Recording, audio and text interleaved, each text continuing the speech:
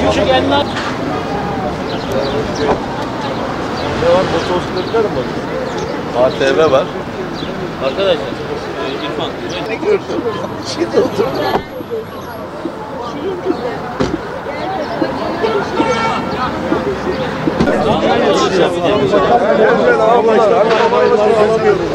Ülkesinin nihai ürününü hep birlikte kullanıyoruz.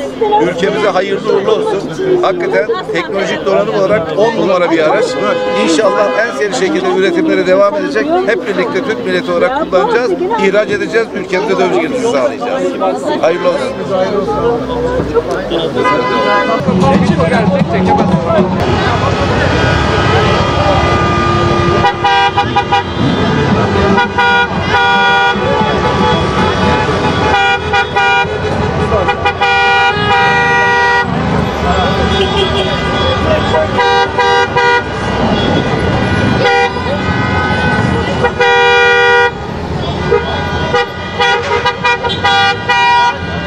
Thank.